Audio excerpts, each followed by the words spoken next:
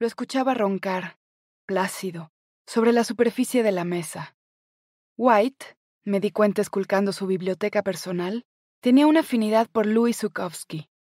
Se me ocurrió que por ahí podría convencerlo de la relevancia de Gilberto Owen. Así es como funciona el éxito literario, por lo menos a una escala. Todo es un rumor, un rumor que se reproduce hasta convertirse en una afinidad. Volví varias veces a la biblioteca de la Universidad de Columbia para buscar algún libro, periódico, archivo, lo que fuera que iluminara un poco el periodo que Owen pasó en Nueva York. Por recomendación de White, empecé a llevar un registro sobre todo lo que tuviera alguna relación con él. Tomaba notas en post-its amarillos y cuando llegaba a mi departamento los colocaba entre las ramas del árbol seco, para no olvidar, para poder regresar a ellas algún día y poner orden. La idea era que cuando el árbol estuviera atiborrado de notas, se empezarían a caer por su propio peso. Yo las recogería en el orden que se fueran cayendo y en ese mismo orden escribiría la vida de Owen. La primera fue, Nota. El metro de Nueva York se construyó en 1904. Aún conservo esas notas. Cuando nos mudamos a esta casa, las saqué de un sobre donde las había guardado cuando me fui de aquella ciudad, y las pegué en la pared frente a mi escritorio.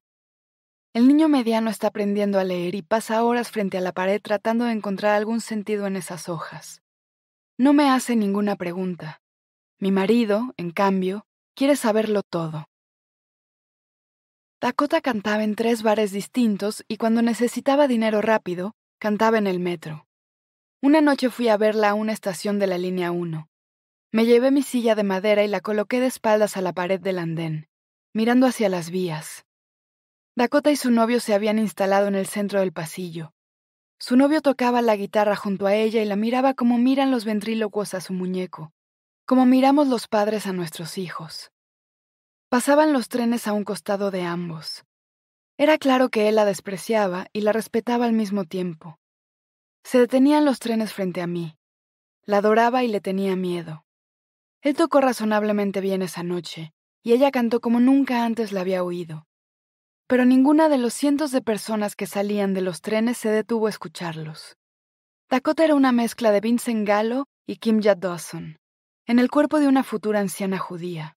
Se movía con la gracia de una zanahoria, pero el timbre de su voz atravesaba el andén y mi cabeza, con la violencia blanda de los dolores hondos. Se detuvo un tren. Detrás de Dakota me pareció ver el rostro de Owen entre las muchas caras del metro. Fue solo un segundo, pero estuve segura de que él me había visto también.